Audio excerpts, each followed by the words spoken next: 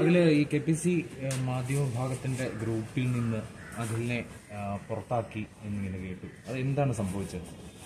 അല്ല ഞാൻ എനിക്ക് കെ പി സി സിയിൽ നിന്ന് ഔദ്യോഗികമായിട്ട് അത്തരത്തിലുള്ള അറിയിപ്പൊന്നും ലഭിച്ചിരുന്നില്ല. പക്ഷേ ഞാൻ ചർച്ചകളുടെ ഭാഗമായിട്ടൊക്കെ പങ്കെടുക്കുന്ന ഒരു ഗ്രൂപ്പിനകത്ത് നിന്ന് എന്നെ റിമൂവ് ചെയ്തതായിട്ട് കണ്ടു. ഞാനത് കെ പി സി സിയുടെ നേതൃത്വവുമായിട്ട് കഴിഞ്ഞ കുറച്ച് ഈ വാർത്തകളൊക്കെ സജീവമായി വന്നതിന് ശേഷം അതിന്റെ നേതൃത്വവുമായി ബന്ധപ്പെട്ട ആളുകളുമായിട്ടൊക്കെ കെ പി സി സിയുടെ നേതൃത്വത്തോട് വളരെ കൃത്യമായി തന്നെ ഞാൻ വിളിച്ചന്വേഷിക്കുകയും അപ്പോ ആഹ്, അത് നേതൃത്വം പോലും അത് നേരെ അറിഞ്ഞിട്ടില്ല എന്നുള്ളതാണ് എനിക്ക് നേതൃത്വത്തിൽ നിന്ന് മനസ്സിലാക്കാൻ കഴിയുന്നത്.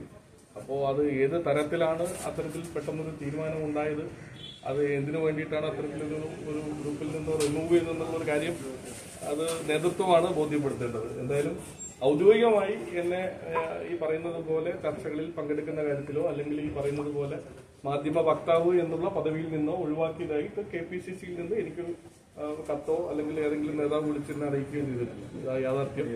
പക്ഷെ അഡ്മിനായ ഒരാളുടെ തീരുമാനമാണോ ഗ്രൂപ്പിൽ നിന്ന് പുറത്താക്കുക എന്നുള്ളത്? അങ്ങനെയാണോ ഉദ്ദേശിച്ചത് അല്ല അത് എന്താണ് എന്നുള്ളത് മറുപടി പറയേണ്ടത് ആ പുറത്താക്കിയ ആളും അത് അതോടൊപ്പം തന്നെ അതിന് നേതൃത്വം കൊടുക്കുന്ന മറ്റാളുകളുമാണ്. എന്തായാലും അതിനകത്ത് ഈ പറയുന്നത് പോലെ എന്നെ എന്നോട് പറഞ്ഞത് ഞാൻ പാർട്ടിയുടെ നേതൃത്വ തീരുമാനം ലംഘിച്ച് ചർച്ചയ്ക്ക് പോയി എന്നുള്ളതാണ്.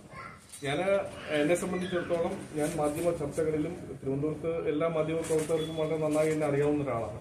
ഞാൻ അങ്ങനെ അധികം ചർച്ചകളിലൊന്നും ചർച്ച ഈ പാനലിനകത്ത് ഉണ്ടെങ്കിലും അധികം ചർച്ചകളിലൊന്നും അങ്ങനെ പങ്കെടുക്കുന്ന ഒരാളല്ല. കുറച്ചും കൂടെ ഗ്രൗണ്ടഡ് ആയിട്ട് ജോലി ചെയ്യാൻ ആഗ്രഹിക്കുന്ന നാട്ടിൽ ആളുകളുടെ ഇടയിൽ ഇറങ്ങി നിന്ന് പ്രവർത്തിക്കാൻ ആഗ്രഹിക്കുന്ന ഒരു ചെറുപ്പക്കാരനാണ്. സ്വാഭാവികമായിട്ടും നമ്മുടെ ഒരു പ്രവർത്തന ശൈലി കൂടുതൽ ചർച്ചയിലേക്ക് ഇതുവരെ ഞാൻ അങ്ങനെ കടന്നു വന്നിട്ടുമില്ല. ഇവിടെ ഒരു കാര്യം വളരെ വ്യക്തമാണ്. ഞങ്ങളെ സംബന്ധിച്ചിടത്തോളം ഞാൻ കഴിഞ്ഞ ദിവസം എനിക്കുണ്ടായ അനുഭവം.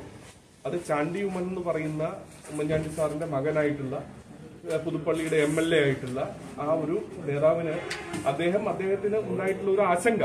അത് മാധ്യമങ്ങൾക്ക് മുന്നിൽ തുറന്നു പറയുന്ന ഒരു സാഹചര്യം ഉണ്ടായി. പക്ഷെ ആശങ്ക അദ്ദേഹം തുറന്നു പറഞ്ഞപ്പോൾ ഉണ്ടായിട്ടുള്ള സൈബർ അറ്റാക്കും ചില പ്രത്യേക കേന്ദ്രങ്ങളിൽ നിന്ന് വരുന്ന ഒരു സൈബർ വേട്ടയാടലും എല്ലാം കണ്ടിട്ട് അത് അദ്ദേഹത്തിന്റെ ആശങ്ക പരിഹരിക്കാൻ കെ പി സി സിയുടെ നേതൃത്വം തയ്യാറാകണമെന്നുള്ള എന്റെ വ്യക്തിപരമായ അഭിപ്രായം. അത് മാധ്യമങ്ങളിൽ പറയാനുള്ള സ്വാതന്ത്ര്യം എനിക്കുണ്ട്. കാരണം ഇന്ത്യൻ നാഷണൽ കോൺഗ്രസിനെ സംബന്ധിച്ചിടത്തോളം വളരെ വ്യക്തമായി പറയാൻ ആഗ്രഹിക്കുന്നു. അഭിപ്രായ സ്വാതന്ത്ര്യമുള്ള പാർട്ടി തന്നെയാണ് ഇന്ത്യൻ നാഷണൽ കോൺഗ്രസ്. അത് എക്കാലവും ഇതിനകത്തുള്ള എല്ലാ നേതാക്കന്മാരും അത് വളരെ കൃത്യമായി നടത്തിയിട്ടുള്ള ആളുകളുമാണ്. ഇപ്പോഴും നിങ്ങൾ എന്റെ മുന്നിലുള്ള മാധ്യമ പ്രവർത്തകർക്ക് വളരെ വ്യക്തമായി അറിയാവുന്നതാണ്. കാരണം എല്ലാ പ്രമുഖ നേതാക്കന്മാരും അവരുടേതായ അഭിപ്രായം. അത് അഭിപ്രായ ഭിന്നതയാണെങ്കിൽ ആ ഭിന്നത തുറന്ന് സംസാരിക്കാനുള്ള സ്വാതന്ത്ര്യമുള്ള പാർട്ടിയാണ് ഇന്ത്യൻ നാഷണൽ കോൺഗ്രസ്. പക്ഷേ എന്നെ സംബന്ധിച്ചിടത്തോളം ഞാൻ ഇപ്പോഴും ഇത്തരത്തിൽ ഒരു ഒരു ഒരു ഒരു ഒഴിവാക്കൽ നേരിട്ടപ്പോഴും ഞാൻ മനസ്സിലാക്കുന്നത് ഞാൻ എന്ത് തെറ്റ് ചെയ്തു എന്നുള്ളത് എനിക്ക് എന്നെ തന്നെ ബോധ്യപ്പെടുത്താൻ കഴിയുന്നില്ല. അതാണ് എന്റെ പ്രശ്നം. കാരണം ഞാൻ ഈ പറയുന്നത് പോലെ ചാനലിൽ വന്നിരുന്നിട്ട് നേതാക്കന്മാരെ ആരെയും കുറ്റം പറഞ്ഞിട്ടില്ല. അല്ലെങ്കിൽ ഈ പാർട്ടിക്കെതിരായിട്ട് ഒരിക്കലും ഒരു വാചകം ഒരു ഒരു ഘട്ടത്തിൽ പോലും പറഞ്ഞിട്ടില്ല. അത് എന്നെ അടുത്തറിയാവുന്ന തിരുവനന്തപുരത്തെ മാധ്യമ പ്രവർത്തകർ എല്ലാവരും ഇവിടെ തന്നെയുണ്ട്. ഞാൻ കെ എസ് യു വിദ്യാർത്ഥി രാഷ്ട്രീയത്തിലൂടെ കടന്നു വന്ന് കേരള യൂണിവേഴ്സിറ്റിയിൽ ഇലക്ഷൻ ഇലക്ഷനിലൂടെ കേരള യൂണിവേഴ്സിറ്റിയിൽ മൂന്ന് പ്രാവശ്യം സെനറ്റ് മെമ്പറായി.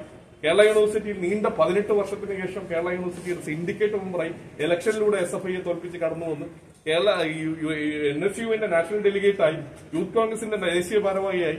എനിക്ക് എന്നെ സംബന്ധിച്ചിടത്തോളം കെ എസ് യുവിന്റെ സംസ്ഥാന പ്രസിഡന്റ് സ്ഥാനത്തേക്ക് പദവിയിലേക്ക് ഏറ്റവും അവസാനം വരെ തീരുമാനത്തിൽ നിന്നിട്ട് ബഹുമാനപ്പെട്ട ഉമ്മൻചാണ്ടി സാർ ഉൾപ്പെടെയുള്ള ആളുകൾ തീരുമാനിച്ചിട്ട് അത് നഷ്ടപ്പെട്ട ആളാണ് ഞാൻ. യൂത്ത് കോൺഗ്രസിന്റെ തീരുമാനവും അതേപോലെ അവസാനം നിന്ന് നഷ്ടപ്പെട്ട ആളാണ്. നിയമസഭയിൽ ഇതേ പരിഗണന ഉണ്ടായിട്ട് പലതവണയും അത് ഒഴിവാക്കപ്പെട്ടിട്ടുള്ള ആളാണ്. ഞാൻ ആ ഘട്ടത്തിൽ ഒരിക്കൽ പോലും ഒരു മാധ്യമ പ്രവർത്തകന്റെ മുന്നിൽ വന്നിട്ടും ഒരു മോശമായ ഒരു കമന്റ് പോലും പറഞ്ഞിട്ടില്ല. നിങ്ങൾക്ക് വളരെ വ്യക്തമായി എന്നെ അറിയാവുന്നതാണ്.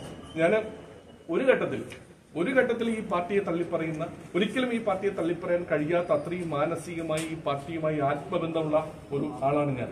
പ്രത്യേകിച്ച് ഉമ്മൻചാണ്ടി എന്ന് പറയുന്ന ഒരു സ്കൂൾ ഓഫ് പൊളിറ്റിക്സിൽ നിന്ന് കൃത്യമായി പഠനം നടത്തിയിട്ടുള്ള അദ്ദേഹം എന്താണ് ഞങ്ങളെ പഠിപ്പിച്ചിട്ടുള്ളത്? അത് കൃത്യമായി നടത്തുന്ന ഒരാളാണ്. ഒരു കാര്യത്തിൽ എനിക്ക് ഉറപ്പാണ്. മരണം വരെ ആ മനുഷ്യനോടൊപ്പം നിന്നു എന്നുള്ള കാര്യത്തിൽ ഒരു സംശയവും വേണ്ട. അത് കൃത്യമായ നിലപാടെടുത്ത് അദ്ദേഹത്തിനോടൊപ്പം നിന്നു. ഒരു ഘട്ടത്തിൽ പോലും ഒരു വാക്കുകൊണ്ട് പോലും ആ മനുഷ്യനെ ചതിച്ചിട്ടില്ല എന്നുള്ളത് ഇപ്പൊ തുറന്നു പറയാൻ ഈ ഹൃദയത്തിൽ നിന്ന് പറയാൻ എനിക്ക് കഴിയും. അതുകൊണ്ട് ഞാനത് പറയുന്നത് എനിക്ക് പിന്നെ അദ്ദേഹത്തിന്റെ മകനെ അങ്ങനെ ഒറ്റതിരിഞ്ഞ് ആക്രമിച്ച് അങ്ങനെയൊന്നും അങ്ങനെയൊന്നും സൈഡ് ലൈൻ ചെയ്യാനൊന്നും അതൊന്നും അനുവദിക്കില്ല. പാർട്ടിയുടെ നേതൃത്വം ഞാൻ ഇപ്പോഴും പറയുന്നത് കോൺഗ്രസ് പാർട്ടിയുടെ നേതൃത്വത്തിൽ ഞങ്ങൾക്ക് പരിപൂർണമായി വിശ്വാസമുണ്ട്. കോൺഗ്രസ് പാർട്ടിയുടെ നേതൃത്വം ഈ ഘട്ടത്തിലും ചാണ്ടിയുമന് ഉൾപ്പെടെയുള്ള ഞങ്ങൾ ഓരോ ചെറുപ്പക്കാർക്കും ഉൾപ്പെടെയുള്ള ആശങ്കകൾ അത് കേൾക്കാൻ കോൺഗ്രസ് പാർട്ടിയുടെ നേതൃത്വം തയ്യാറാകുമെന്നുള്ള കാര്യത്തിൽ ഞങ്ങൾക്ക് ഇപ്പോഴും പ്രതീക്ഷയുണ്ട്. അത് കേൾക്കണം. ഈ ചെറുപ്പക്കാരെന്ന് പറയുമ്പോൾ അതൊരു കൂട്ടമായി മാത്രമാകരുത്. നാട്ടിൽ പണിയെടുക്കുന്ന ജോലി ചെയ്യുന്ന സാധാരണക്കാരന്റെ വിഷയങ്ങളിൽ ഇടപെടുന്ന ആളുകളും ചെറുപ്പക്കാരുടെ പട്ടികയിലുണ്ട്. ഈ റീൽസിലൂടെയും ഈ പറയുന്നത് പോലെ സോഷ്യൽ മീഡിയയിൽ മാത്രം രാഷ്ട്രീയ പ്രവർത്തനം നടത്തുന്ന ശൈലി മാത്രമല്ല പൊതു രാഷ്ട്രീയ പ്രവർത്തനത്തിന്റെ ഭാഗമായി ഉള്ളത് എന്ന് എടുത്തു പറയാൻ ആഗ്രഹിക്കുന്നു. നാട്ടിൽ പാർലമെന്ററി ജനാധിപത്യത്തിലേക്കും ഈ പറയുന്നത് പോലെ പാർട്ടിയുടെ വിവിധ പോസ്റ്റുകളിലേക്കും ആളുകളെ പരിഗണിക്കുമ്പോൾ വളരെ കൃത്യമായി പാർട്ടി നേതൃത്വം മനസ്സിലാക്കേണ്ടത് താഴെത്തട്ടിൽ ജോലി ചെയ്യുന്ന ആളുകളെ തിരിച്ചറിയണം. ഒരു നോമിനേറ്റഡ് പ്രോസസ്സിലൂടെയാണ് വരുന്നതെങ്കിലും ആ നോമിനേറ്റ് ചെയ്യുന്ന നേതാവ് ഉൾപ്പെടെ ചിന്തിക്കണം. ഇവൻ നാളെ ഈ പാർട്ടിയിൽ ഗുണം ചെയ്യുന്ന ആളാണോ? ഈ പാർട്ടിയിൽ താഴെത്തട്ടിൽ ജോലി ചെയ്യുന്ന ആളാണോ എന്ന് കൃത്യമായി പരിശോധിക്കണം.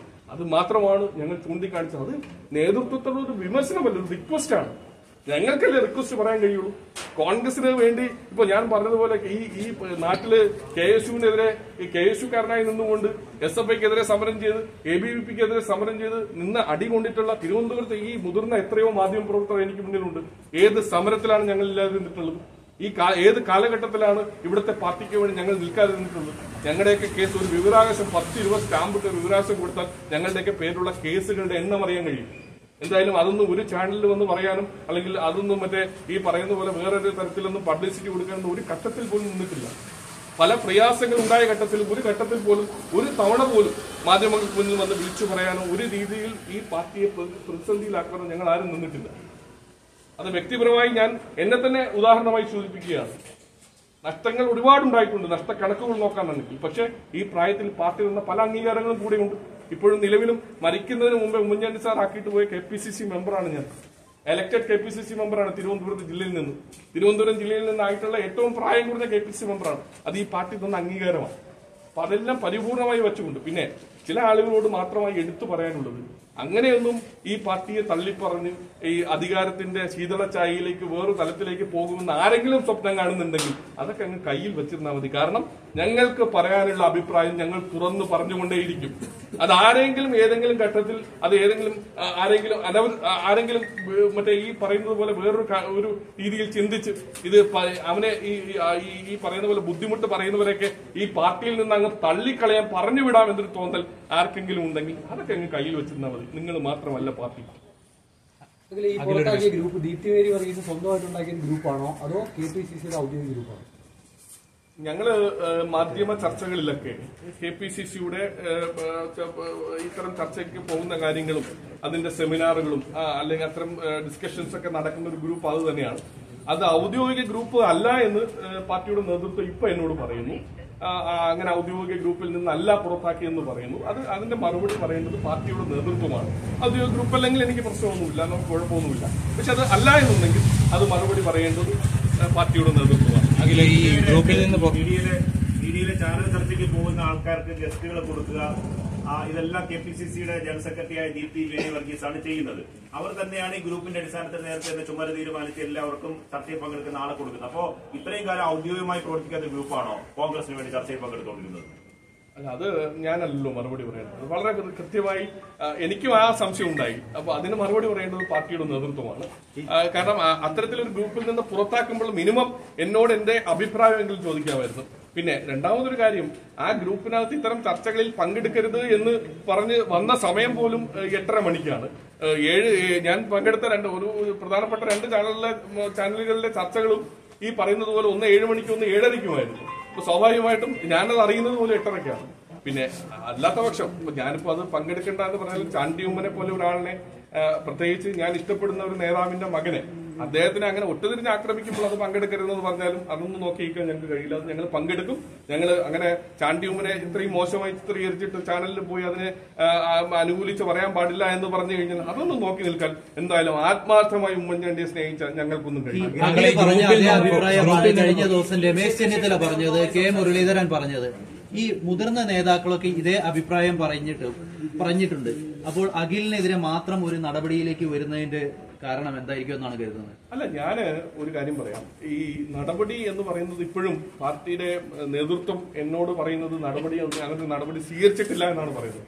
എനിക്ക് രേഖാമൂലം ഒരു നടപടി എനിക്ക് എന്റെ കയ്യിൽ കിട്ടിയിട്ടില്ല.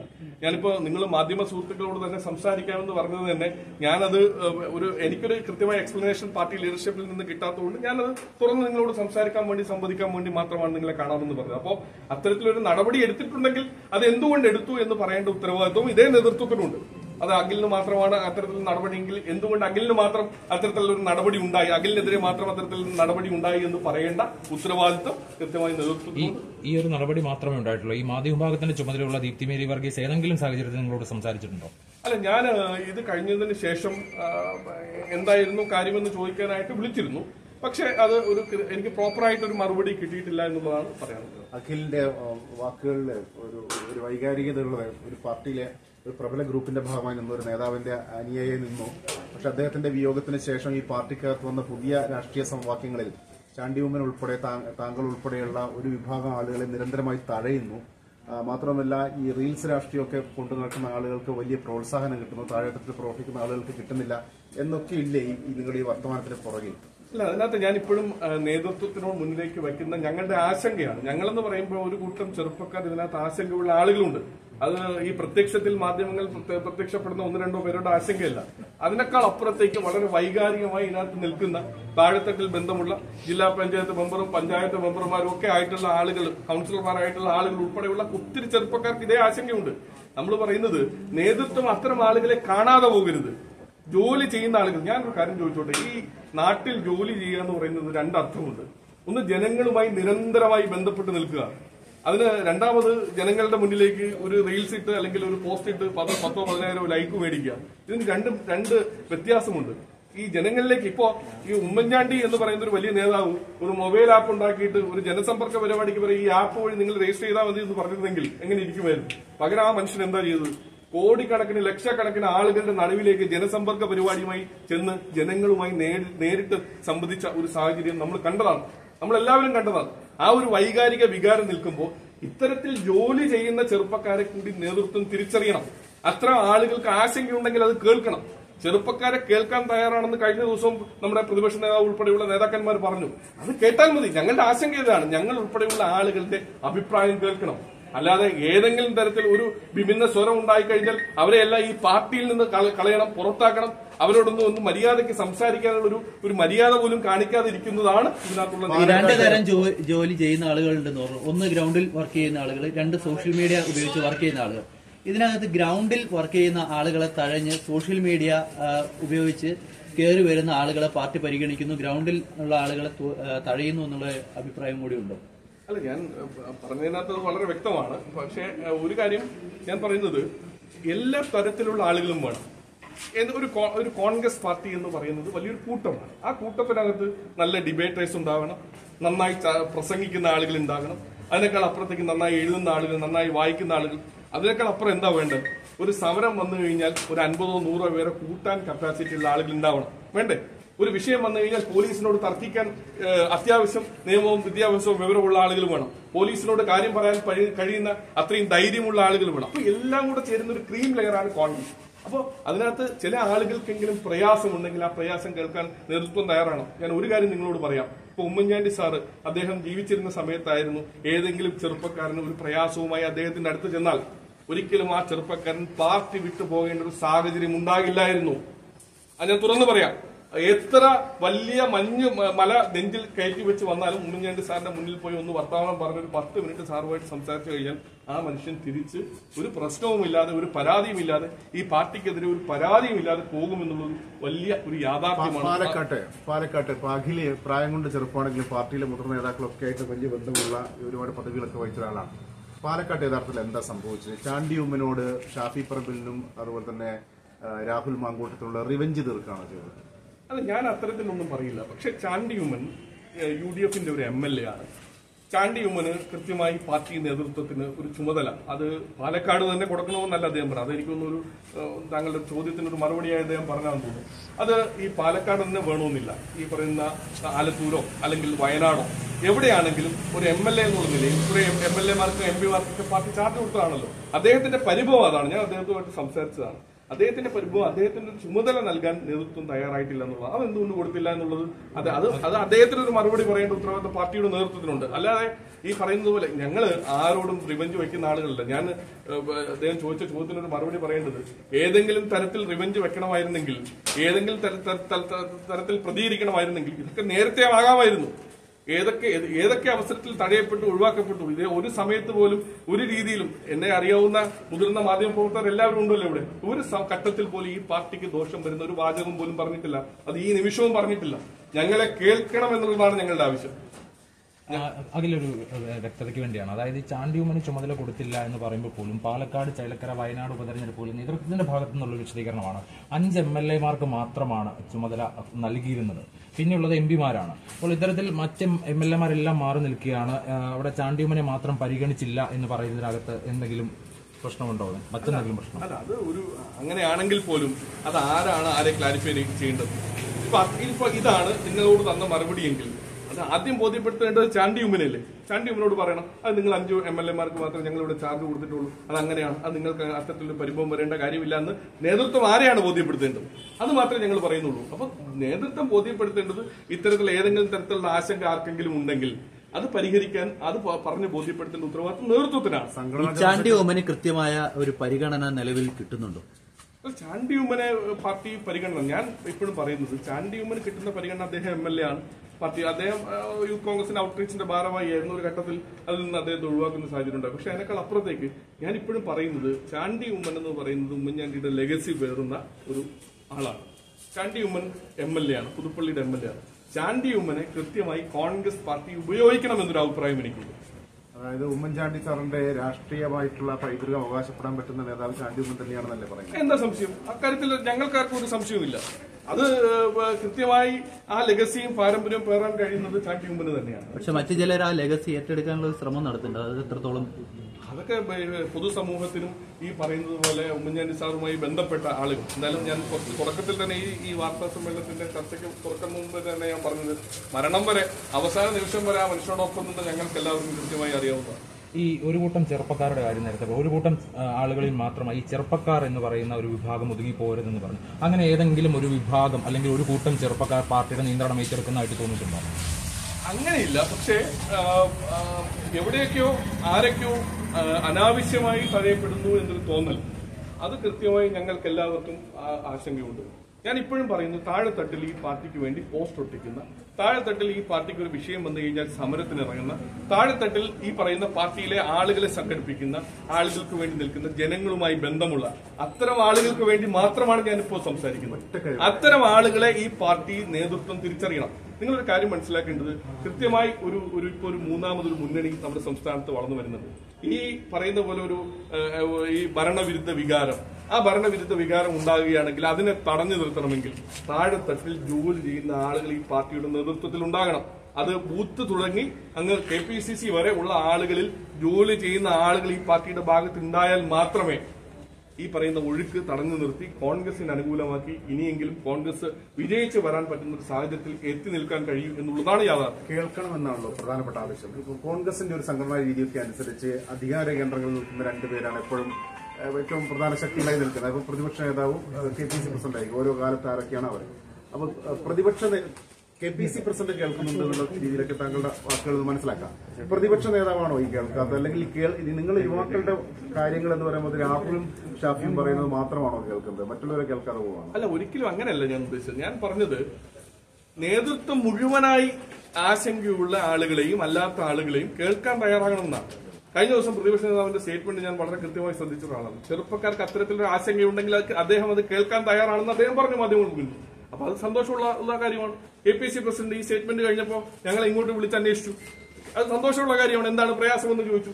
ഇതല്ലാതെ ഞങ്ങൾ ഒന്നും പറയുന്നില്ലല്ലോ. ഇപ്പോ ഇതൊരു പാർട്ടിയിൽ ഇന്ന പോസ്റ്റ് ഇന്ന ആളിന് കൊടുക്കണമെന്ന് പറയുകയോ അല്ലെങ്കിൽ ഇന്ന ആളിനെ വേറൊരു തരത്തിൽ പരിഗണിക്കണമെന്ന് പറയുകയോ അല്ലെങ്കിൽ വേറെ ആളിനെ മുഖ്യമന്ത്രിയാക്കണമെന്ന് പറയാനോ ഒന്നുമല്ലല്ലോ ഞങ്ങൾ ഇത് വിളിച്ചിരിക്കുന്നത്. ഞങ്ങൾ ഞങ്ങളുടെ ഒരു ആശങ്ക പറയുന്നു ഞങ്ങളുടെ ഒരു അഭിപ്രായം പറയുന്നു. ഇതിനകത്ത് തഴയപ്പെടുന്ന ഒഴിവാക്കപ്പെടുന്ന സാധാരണക്കാരായിട്ടുള്ള ചെറുപ്പക്കാർക്ക് വേണ്ടി മാത്രമാണ് ഈ വർത്തമാനം.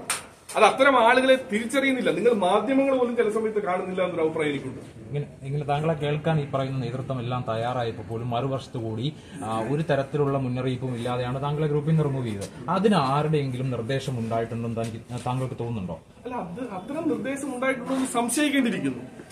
എന്തുകൊണ്ടാണ് ഒരു മുന്നറിയിപ്പ് പോലും ഇല്ലാതെ ഇത്തരത്തിൽ ഒരു കാര്യം നമ്മളെ അറിയിക്കാതെ അത്തരത്തിൽ റിമൂവ് ചെയ്യുക എന്ന് പറഞ്ഞു കഴിഞ്ഞാൽ ഞാനത് മാധ്യമത്തിലൂടെയാണ് ആദ്യം അറിഞ്ഞത്. അപ്പൊ അത് തീർച്ചയായിട്ടും അത് ഒരു പ്രയാസം ഉണ്ടാക്കി അതിന് മറുപടി പറയേണ്ടത് അത് ഔദ്യോഗിക ഗ്രൂപ്പ് അല്ല എന്ന് ഇപ്പോഴും പറയുന്നു. അത് അങ്ങനെയാണെങ്കിൽ അത് വ്യക്തമായി മറുപടി പറയേണ്ടത് പാർട്ടിയുടെ നേതൃത്വമാണ്. അത് നിങ്ങൾ നേതൃത്വത്തോട് തന്നെ പാർട്ടി വിട്ടുപോയ സരിൻ പറഞ്ഞത് ഒരു ത്രയം ഇവിടെ ഉണ്ട് അതിനോട് ഏറ്റുമുട്ടി നിൽക്കാൻ പറ്റാത്ത സാഹചര്യത്തിലാണ് പുറത്തു കൊണ്ടുവന്നത് വന്നത് ഇപ്പൊ അഖിലൊക്കെ ഇനി അങ്ങോട്ട് ഈ ത്രയം അതായത് ഷാഫി രാഹുൽ വി. ഡി. സതീശൻ എന്നൊക്കെ പറയുന്ന ഒരു സംഘത്തിനെതിരെ ഏറ്റുമുട്ടലിലേക്ക് നീങ്ങുമോ? അല്ല ഒരിക്കലും അങ്ങനെ ആരുമായി ഏറ്റുമുട്ടലിനോ അല്ലെങ്കിൽ മൽപ്പിടുത്തത്തിനോ ഒന്നും അത്തരത്തിലേക്കുള്ള ഒരു ഒരു മാർഗമൊന്നും ഉപയോഗിക്കാനോ ഒന്നും ഞങ്ങൾ ആരും ഉദ്ദേശിക്കുന്നില്ല. ഞങ്ങൾ ഈ പാർട്ടിയുടെ പാർട്ടി നന്നാവണം. ഈ പാർട്ടി ഒരിക്കലും ഞാനിപ്പോഴും പറഞ്ഞു ഇപ്പോൾ താങ്കൾ ഒരാളുടെ പേര് ഉന്നയിച്ചു സരിന്റെ കാര്യം പറഞ്ഞു. സരിൻ ഈ പാർട്ടിയിൽ വന്ന് കടന്നു വന്ന് മൂന്നാമത്തെ വർഷം സരിന് സീറ്റ് ആണ് ഉത്തരപ്രദേശ് സരിൻ മത്സരിച്ചു. ആ കണക്ക് നോക്കുകയാണെങ്കിൽ സരിന്റെയും എന്റെയൊക്കെ ഒരു ഒരു ഒരു ഹിസ്റ്ററി ഒന്ന് ഒന്ന് പരിശോധിച്ചു കഴിഞ്ഞാൽ ആ കണക്ക് നോക്കുകയാണെങ്കിൽ എത്ര കാലം മുമ്പേ എത്ര തീരുമാനങ്ങൾ എടുക്കേണ്ട ആളാണ്.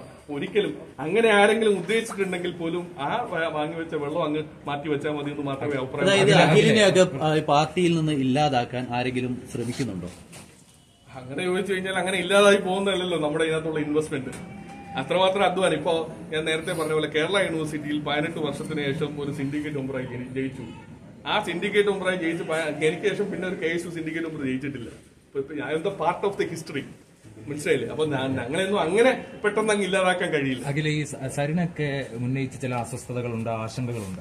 മുൻപായിരുന്നെങ്കിൽ അതൊക്കെ പരിഹരിക്കാൻ ഉമ്മൻചാണ്ടി സാറിനെ പോലുള്ള ആളുകളൊക്കെ ഉണ്ടായിരുന്നു. പക്ഷെ ഇപ്പോൾ അത്തരത്തിൽ ആശങ്കകൾ പാർട്ടി കേൾക്കുന്നില്ല എന്നൊരു അഭിപ്രായം അല്ല ഞാൻ ഇപ്പോഴും വിശ്വസിക്കുന്ന ഒരു കാര്യം. സരിനാണെങ്കിലും പാർട്ടി വിട്ടുപോയ ഷാനിബാണെങ്കിലും അവരെയൊക്കെ ഒന്ന് കേൾക്കാൻ അവരുടെ ആശങ്ക ഒന്ന് കേൾക്കാൻ തയ്യാറായിരുന്നെങ്കിൽ ചിലപ്പോൾ അവരൊന്നും പോകില്ലായിരുന്നു. ആ അഭിപ്രായം എനിക്ക് ഉമ്മൻചാണ്ടിയുള്ള കാലത്താണെങ്കിൽ സരിൻ പാർട്ടി വിടുമായിരുന്നു. സരിനെന്നല്ല ചിലപ്പോൾ ആരും പാർട്ടി വിടില്ല. ശരണും ഷാനും ആരും പാർട്ടി വിടുന്നു എനിക്ക് തോന്നിയിട്ടില്ല.